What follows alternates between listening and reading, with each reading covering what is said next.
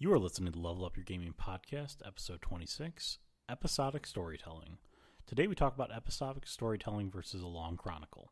We discuss some of the benefits of episodic storytelling and why we believe you should try it out. If you'd like to participate in the discussion or leave us feedback, you can contact us at levelupyourgamingpodcast at gmail.com. Also, if you like the show, please subscribe, leave us a review, or tell a friend. Now sit back and enjoy the episode. Welcome into the Level Up Your Gaming podcast. My name is Aaron, and in his home, he is the master of leaving breadcrumbs for you to follow, Jared. Hey everyone, hope you're having a great week and a happy uh, Fourth of July weekend. Uh, it's going to be a little belated. We'll be here on uh, on Wednesday after the Fourth of July. But if you do hear fireworks going off in the background, that would be because we are recording actually on the Fourth of July. and my neighborhood is celebrating it in full swing. so, little uh, a belated Happy Fourth of July. um, oh, so um, Aaron, how are you doing?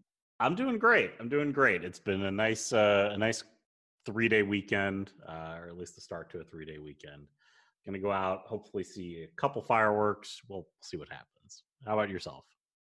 Doing real good. Still in the state. Um, thinking about picking up a new laptop. Uh, for any of our listeners who uh, this is going to be shocking, like who, are computer guys or gals.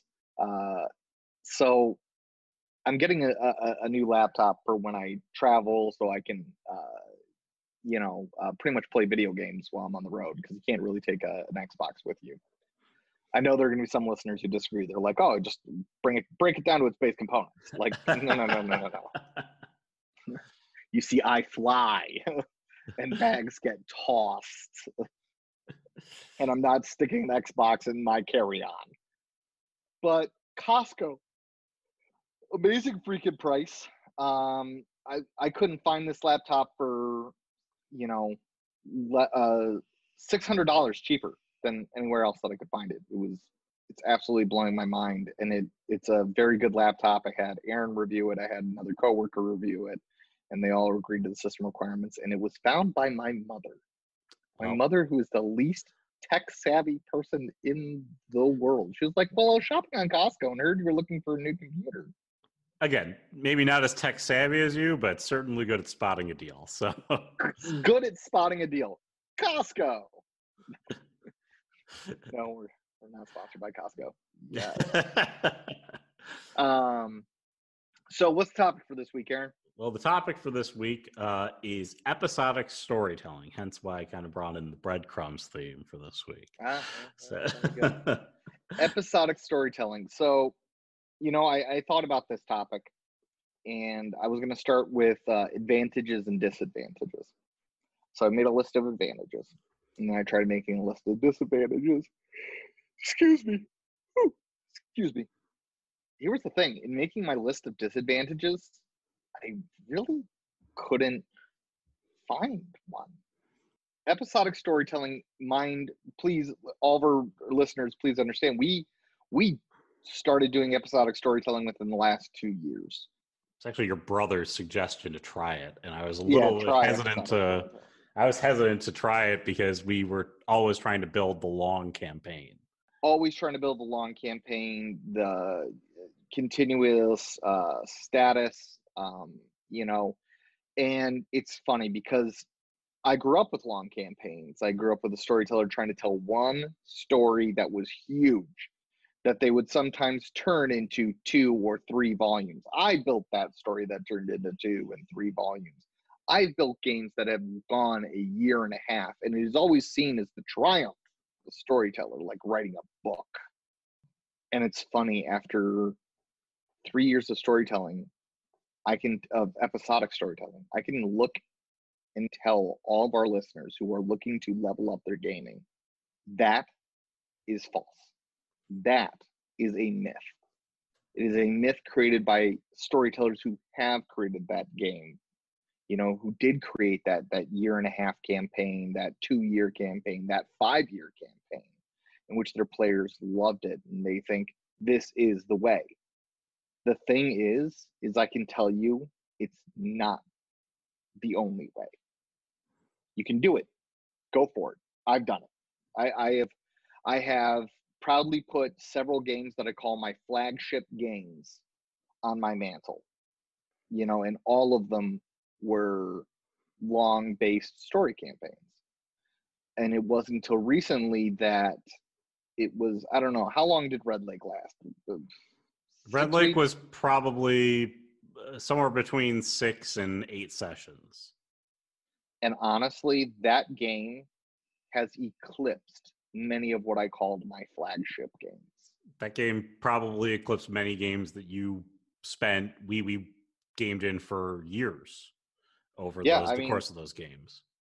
and it is just it, it simply um just blew them all away so i'm going to tell everyone that you might sit there and think this is long campaigns are what you do. Hence the term campaign is so integrated into role playing. It's almost fused into it. What are you doing? Well we're doing a campaign on this. You know not an episode on this, not a short story on this. You can now take that word, and I want you to put that word on where it belongs. It does belong on the on the board, but I also want you to take the word episode, short story, um, and put those on the board because I want you to start thinking about it. Now, great thing about episodic, if you want to start doing it, and right now you're in the middle of a five year campaign, episodic storytelling does not necessitate does not necessitate that you have to stop your five year long campaign. You can create inside your five year long campaign an episodic uh, story that's self contained, beginning, middle, end, done, get back to the, the huge campaign. It involves the same characters. You can have it that way. You could have it involve a subset of characters, maybe another group of, of heroes that your uh, players met along the way, or a group of villains. Wouldn't that be a cool little episode? Mm, we're playing the bad guys that we fought, you know, 12 months ago. So, episodic, I, I, I sat down and I was like, oh, man, you know, um, what are the disadvantages? I, I, I couldn't find any. But I have a lot of advantages, and uh, I'm going to try to persuade, I guess, all of you to try it at least once, to give it to give it a shot. Um, so advantages in doing an episodic campaign and warning aaron might aaron might stop me and be like hold on we're to save that for next week but it's it's part of episodic. But so everyone get ready for aaron to put on the brakes. But episodic storytelling allows you to have new storytellers each and every week. Or not each and every week sorry each and every story. It welcomes other storytellers into the campaign. And we are going to have an episode, maybe even two, on um, creating a, a community environment. And we'll talk about that in those episodes because that in itself is such a big thing. And we have so many tools for you that you can use. But you can start going around the table. Who else wants to storytell? Maybe you've got two friends in, in your group that have always wanted to storytell but they don't know how to make a, a six year campaign and you're always the storyteller and we're in the middle of a six year campaign we can't just put it down now but having an episodic storytelling uh, capability or option gives your players that option to sit in the driver's seat and maybe storytell a little bit maybe get their get their gaming on in in that fashion. So that's that's a huge advantage and i cannot tell you enough how how much it is for me as a storyteller because uh, I, I typically do most of the storytelling for the group but ever since we've gotten to the episodic i can't say that anymore i do equal storytelling to aaron I would still say that you do more storytelling than all of us. You, your your episodes tend to last a little bit longer, but at the end of the day, I mean, I've run more games in the last couple of years than I have ever before that. Um, Ken has run well. I guess Ken has run several games for us. Brian, who never story told, nevers told it told us told it actually jumped into the driver's seat and story told a game.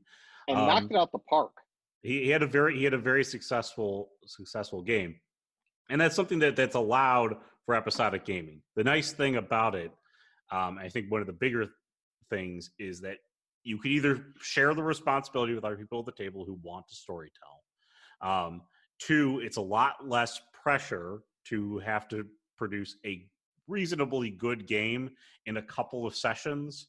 Okay, when you were talking about episodic storytelling, you're probably thinking like two to seven game sessions, maybe eight if you're going to push it. Or and then the other thing that that you get out of it though is if you have been telling a six year campaign, the problem with the six year campaign is fatigue. Okay. And you that, that that's that's the biggest thing that you're going to run into with telling a long campaign. Uh, well, two the, the two hardest things is is getting it off the ground and then keeping the damn thing afloat. Okay, you know, well, like I said, it, it no go go on. Oh yeah, well, because I mean, like, because that that that that's that's the biggest and hardest thing. Now, your players may may not love the idea of episodic gaming, and I was not open to it as a player, um, because I went, well, if I have to tell episodic games, if I have to be, if I'm going to be be part of it, how am I ever going to be invested in the characters I have? Uh, and our and our solution to that was to share characters across the episodic games, meaning that each one of these takes place in the same timeline and you're basically picking a time of the year that the event is happening okay that happens in the future to somebody else's episode. So you're not messing with Fall, like going backwards. spring, summer, Yeah. winter. you're, you're, not, you're not you're not moving backwards in time. You're always moving forward in time.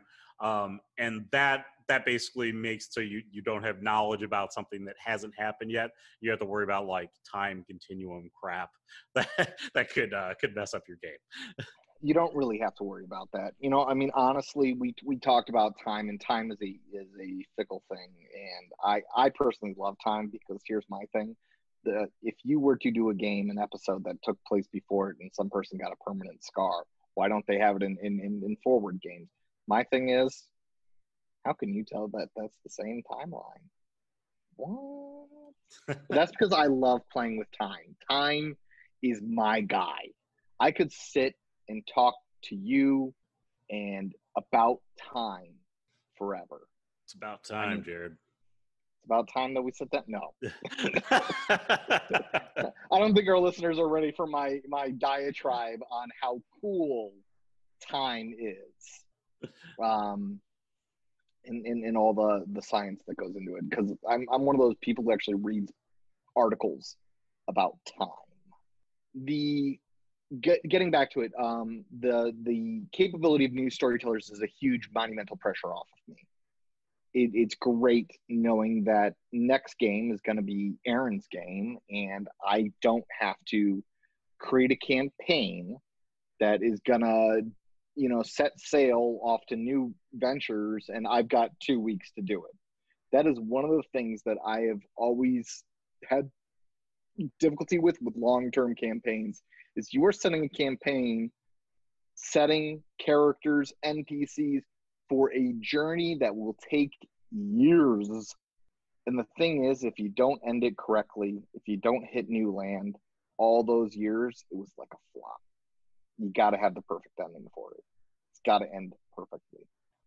Um, i love episodic because i can tell you I've, I've had games that were good base runs.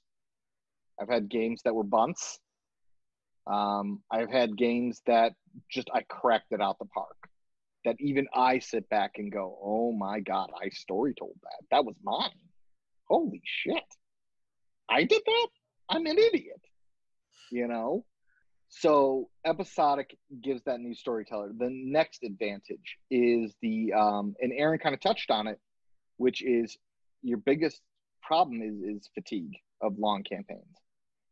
Uh, in episodic storytelling, what I like about it is I can contain themes. So for our Red Lake one, my theme, I I I dived into my master of terror.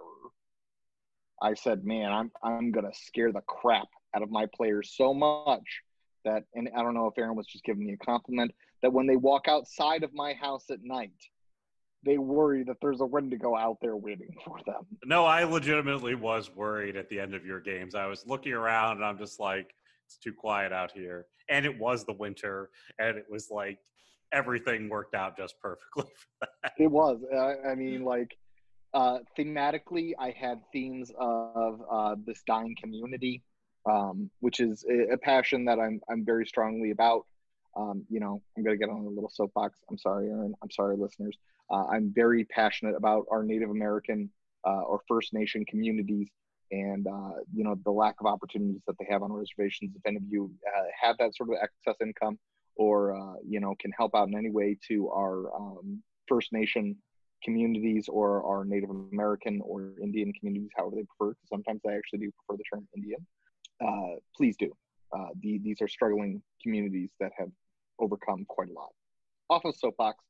Um, sorry, I just I love I love First Nation, uh, First Nation, Indian, Native American communities. I really do. So, off of the soapbox, back to it. Um, I contain a theme of, of desperation, of a decaying community, of absolute terror, and it was great, and it ran perfect. The game prior to that, and Aaron might correct me if I'm wrong, was a bunch of crazy. It was a pretty much a, a three session shootout with a bunch of crazed rednecks Yep. Um, total different theme. One was action, adventure, find the bad guy, kill the bad guy. You know, and, and it was fire and explosions and it was it was great for what it was. Um, and then my next game is is terror and and a dying community and and our heroes really being heroes. You know, so each one I can focus on a theme and I can engage that theme with all of my focus and I don't have to worry about player fatigue. Like, oh my God, my guys, there it's been six months of terror. We're tired of being scared, Jared. We're tired of being scared. And then my game has the possibility of flopping. When I say it's going to be seven sessions, I'm running this. Now, some of you might say, well, I run separate stories inside my campaign. Excellent. Episodic storytelling could take the look of a large campaign. Um, I can best describe it to TV shows. Never think of episodic storytelling as the Twilight Zone because different characters. Well, you could. Uh, different characters, different story each time. There's also episodic storytelling like Buffy the Vampire Slayer. We're talking about an eight season show which had a different monster every week, had about seasonal through lines, but at the end of every season, they'd have a new through line. Um, and overarching, though, you have the same characters, you have reoccurring villains, and that is the type of episodic that I'm looking at, that I, I particularly engage with. And then finally, you have campaign storytelling, which is someone's trying to tell the story of, I mean, like honestly, you're you're trying to create a TV show that might have different stories every once in a while, but otherwise you're going over, you know, um, I don't know. I haven't watched any. That's my problem. I don't, I don't watch a whole lot of TV nowadays. Uh, I, I, I, understand what you what you're what you're going for there, and actually, the, the listeners do. The uh, the, the the one thing I caught out of that was, uh, or the one thing I wanted to talk about a little bit more was the through line there, because that's the that's the that's the, the nice thing about an, an epic campaign or a big campaign is that the through line makes sense. Here is the evil. Here is what we're trying to stop. We know the through line. Okay, the through line makes sense. In an episodic game or a game where maybe you're jumping between storytellers, you say, "How the hell do I maintain the through line?" Okay, well, so the through line can be maintained by connecting your games uh, with a series of what Jared likes to call breadcrumbs. And that's the way that you can maintain a through line for your game so they all have continuity at the end of your through line. Um, so you're essentially what you would do is uh, the way Jared best described this was you find a rosary, you find a, a crucifix. It was the priest all along. Like every game, you find one of those extra pieces or one of those other clues that give you the, uh, the, the full story, the bigger context to it. So you don't have to dump the biggest, baddest monster at the end of your game. You can build up to that monster and have the culmination of experience make the downfall of the monster seem worthwhile at the end of the story. Absolutely. Main through lines and, and the breadcrumbs. This is precisely what I do. And I leave them. The great thing is when I create a through line, I say, okay, I want my through line Nowadays, I say I want it done in my next five games. At the end of game five is when they meet the big baddie. And then we will move on to my next through line, which is when you at the end of the next five games. Um, because it gives my characters the complete uh, overarching, as Aaron said, uh, he really hit the nail on the head. The value of taking down this bad guy who's been actually coordinating everything for the last five games. The great thing about episodic storytelling that I, I just I'm so passionate about nowadays is I can do a five game through line, then three games that have nothing to do with any through lines, which gives me time to think about my next through line, which is the next five games. So right now I've got 13 different games set up. Kind of like, okay, here's my first through line. That was a brilliant idea, Jared. Give myself some head pats. Like, oh man, you're so smart. You're so smart. I'm like, no, I'm still an idiot. But then I do my three games that have nothing to do with that or anything. Why? Because I need to develop my next through line. I need some time. I need I need a little bit of breakage. And then I can move into my next through line. And it has worked out very cool. Very, very, very, very cool. When it when you start looking at those through lines, remember breadcrumbs the nice thing is is that if a through line isn't gonna work, so you get to the almost like, okay, I want to do this in five games, and you're at game four, and you're like, I still haven't developed this. The nice thing about breadcrumbs is, is that the trail can go cold. The players can go off into other adventures, but that trail can be picked up later when one, it makes more sense, or two, when you're ready to engage it, or simply the trail ends. Okay, so we found a rosary and a Bible, and uh, you know we also found um, you know a relic in in three games. I wonder what that means. Keep your characters keep your characters on the hook. You're I, I loved looking at my players and going, I don't know. What do you think it means? I love doing that. Um, I want to return to it. I always want to go back to it, but you know, um, if I can't execute on it, I will let it sit on what Aaron and I affectionately call the back burner um, and, and just let it simmer. And maybe I'll sprinkle more breadcrumbs in uh, along the way. So the through line is very cool. You don't have to have a through line in episodic storytelling. You don't necess- necessarily have to do it. You know, I, if you look a la mm, Buffy, really had, you know, um, in, in, in uh, any major syndicated TV show, you think about House or like you know Bones or you know I'm just there you I'm go, throw- house. I'm, I'm, th- I'm throwing out a couple of them. You know, of a 26 episode season, I don't remember how long the, the, the seasons were, but you'd have maybe six of those that were the main through line, and the other 20 episodes were just, you know, flavor of the day, completely unrelated. Had they not existed, you lose nothing from the the through line that you put together. uh, for example, uh, you bring up a great point. The house, house. Um, I remember one season that they really described this this cop going after him for his drug problem. That was one season. I think the cop and that probably engaged in six episodes. The other twenty episodes, it might have been a, hey, is house still being investigated? Yeah, okay. Let's move on to the disease person.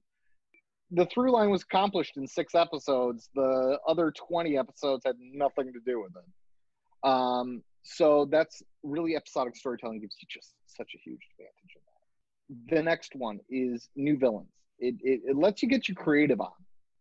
I feel with campaign, you've got a set list of villains. This is going to be my big bad guy at the very, very end of the campaign. And I've got to predict that they will defeat him in, you know, 18 months down the road that's asking a lot. And I feel like it's a lot of undue anxiety and pressure on the storyteller. You know, it really is. And, and please take our 20 plus years of experience, and I can tell you how freeing as a storyteller it is to walk away from the idea of campaign setting games. Because now I can build my little through lines. Got Aaron's storytelling, I've got Ken's storytelling, I got Brian's storytelling, and I can build my little ideas. I can theme them out. I can build my villain, and I and I'm I'm ready for next week. And that's really in episodic. That's really where we started coming into the ideas of I'm not starting this game until it's done. until I'm putting icing on the sides and putting a cherry on the top. I'm not starting it. And you know, for example, uh, I've had games where literally I had icing on the sides, I put the cherry on the top, and wasn't my turn yet. You know, Ken had to run a game. All right, well, I got two options at that point. I could work on the game after that, or I can continue putting on more icing and making my cake more decorative. I generally choose to make my cake more decorative um, just because I really want that full spectrum experience uh, for all my players. I really want to create an amazing moment. Um, sometimes you won't have time. Sometimes you'll barely get that cherry on. You're gonna be like, out the door. Um, but other times you're you're not gonna have that. So um, really, um, yeah, it, it's it's um, uh, the the new villains is, is really great because it gives your characters that capability to or characters your players that capability to fight somebody new fight something interesting whether or not that be uh, a slave owning count whether it be an alliance battle cruiser that has been plaguing the system for the last few weeks it gives your character something new to fight um, you know and instead of trying to create star wars which was years over years over years you're instead trying to go for the Buffy monster. And and really, it's kind of hilarious that Buffy is our is our big. Our like like it, well, it, it, it, it, it fits into into the thematic theme that we sort of have right now with our games, which is we're sort true. of dealing we're sort of dealing with Buffy type monsters. Um, but I mean Yes. the Yeah. what? Go ahead. Go ahead. Uh, yeah, I mean, I, I, I think I think you get you you you brought up a good point, which is you get to to experiment and play with different villains, different creatures, um, you know, d- d- d- just different obstacles for your players to overcome. You get to experiment with different, um, you know, themes and uh, feels for your game, uh, whether they're going to be fast and loose or they're going to be uh, very concise mysteries and whatnot and it's just easy to compartmentalize two or three games and being like i'm going to make sure these are really tight and they feel really good and the players can follow through everything that i'm going to do um, whereas when you had that big campaign uh, in the past it was always like um, it was always like you wanted to uh, expand you, you, you're, you're, you're trying to head your players off at the pass it's it's it, like I said, we we've talked about in the past. It's almost impossible to build out every inch of a long campaign and then execute it. You can only really do so much. It's kind of it, they're, almost like two different writing styles in and of themselves.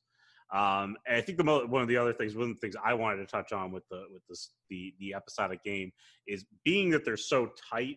You really have to stick these little mini gatherings, like what brought you to this moment here at this episode, and you have to end every single one of those. The endings always feel pretty good at the end of them, and like Jared said, it's not this big flop at the end of a big campaign where you go like, uh, "What happened?" Like, Two and a half years. My ending's a flop. yeah, I mean, But like was- like was, play, players love that game. You loved your characters, and at the end of the game, it just you just couldn't stick the landing. You get you get more attempts to stick the landing, which means that you end up with a bunch of games that can be home runs, and you end up with a bunch of games that are are more uh, just good games. li- baseline hits. Yeah. You know, even if that is, is that a baseball term? Baseline hit. Base hit. Base hit. They said, yeah, Yeah, a base hit. single, double, triple. We we we know some we know some things. I'm going to be learning a lot more in the future, but um, so you know, it it it really is, and you know, one of the one of the things that I also like about episodic storytelling, one of the other advantages is change in location. In the larger campaigns, there is a trouble with what I call travel time, especially for you D and D uh, DMs. Oh my God, I have I have God bless you. I have tried to calculate like okay a horse travels approximately this uh, many miles in a single day before it needs rest and hay and and yada yada so this trip will take them approximately one month and i'm like one month what the hell happens on a road in a month nothing oh they get hit by bandits How many times? You got 30 freaking days. How many people are haunting this road looking to get robbed? Nobody used the road then.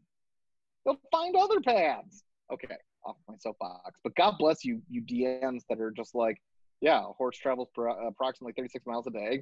Let me get out my pen and do some quick math. I don't have a brain for math. That's why we have Brian, who's who's a walking, living calculator. God bless his math capabilities.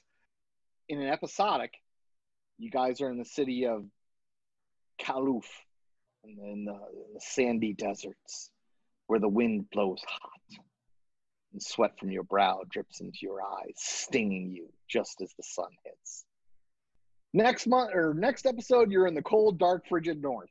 How'd you get there? We don't care. It was a long, boring wagon ride. Okay? Um, especially when it comes down to space travel. Space travel for you sci-fi uh, players out there, because my heart is with you guys. I, I am myself a sci-fi guy. Star Trek, yes. Technically, warp speed has has given the Federation the capability to go incredibly far, incredibly fast. But the Delta Quadrant still takes a while to get there. It zips ahead time. Because one of the things that I will warn you, storytellers who are like, no, I do the road and I do the minutia of, okay, well, the uh, warp coil is, you know, kind of broke. They know every time that you mention that something on the road happened, it's going to be bad. It's you're never stopping them for a good thing. You're stopping them to increase and this is this is part of narrative storytelling. This is part of narrative writing. You are stopping them to create conflict. Conflict leads to drama. Drama leads to fun times. Nobody wants to tell the story about well i pooped today and i sat around and watched netflix and uh, made dinner you know like nobody wants that no, we all role play so we can get away from that for a couple hours and be adventurers and barbarians and Jedi's and and Jedi. Well, Jedi's plural, Jedi, just Jedi, yeah, or Jedi, or Starfleet officers, or uh, you know mobsters, gangsters. Um, we that's that's why we come to the game. So I love flipping ahead on episode episodic and I can just take you from one place to another place that is exotic and fun and welcomes my players to explore. Um, you know, we've spent seven games down in the deserts. Now we're going to spend three games up north, and they've never been north before. And it skips the road. Skip the road because trust me, the road is boring. Get rid of it. If you're doing it, because and God bless you because um, most of you will probably come back and say, well, Matt Mercer does. Yeah, Matt Mercer, the guy storytells for a living. He gets paid to do that. I don't have time. I got a wife. I got a job. I got friends. He literally, for eight hours a day, could still do all the things that I do where he says, I've got a job, I've got work, or I've got a job, I've got a wife, I've got friends. But for eight hours, his job literally is storytelling. He gets to sit down and be like, let's figure this bitch out. You know, and that's a pen click in case anyone was wondering. And he can do that. And Matt Mercer is just his his capability of storytelling is absolutely amazing. Um, his level of writing is absolutely amazing, and, and, and hats off to him. But right now, that is his job and he has a main freaking talent that is that is hard to to grasp. Um, but again, the guys in theater and acting and, and, and all that stuff. And I'm not going to get into that. I'm not Matt Mercer. What? What? I'm not Matt Mercer. Um, unfortunately, I did not go the path where I thought that you know role playing would be my my because if if I can make role playing my source of income, trust me, I would do it in a heartbeat, but I can't. Um, you know, I work in training and I have to travel and, and, and stuff like that. But break away from that. If you want to try to take on the road, knock yourself out. God bless you. You're taking on the challenge. You want to switch to episodic storytelling? Suddenly the road does not seem so long. And and and that's really where it comes down to. The road is not so long in episodic storytelling. And and you can really detail up that road, the parts where you're stopping. Um, kind of my last thought, uh, and I guess it's gonna. Aaron, do you have any final thoughts before I'm moving to my last thought? No, no, I was actually going to ask if you had anything else because I thought that was sort of beautiful, but I'll let you hit your last thought. Tools. I started to sit down and I said, okay, what what tools do you need? What tools do you can I give you? The only tool that I could really give you was good notes.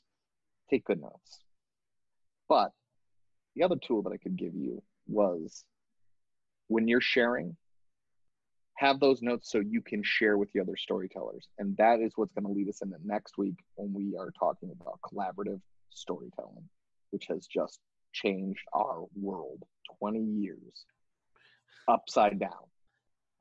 Had we known this when we were 12, we would have been cranking out much better games. we probably wouldn't have executed it very well, but okay, when we were 17, we probably would have executed it pretty well. touche. That one I'll give you. Um, all I'm saying is, we're gonna save you a lot of pain, a lot of heartbreak, and we're gonna we're gonna we're gonna show you a, a whole new world. Um, in collaborative storytelling.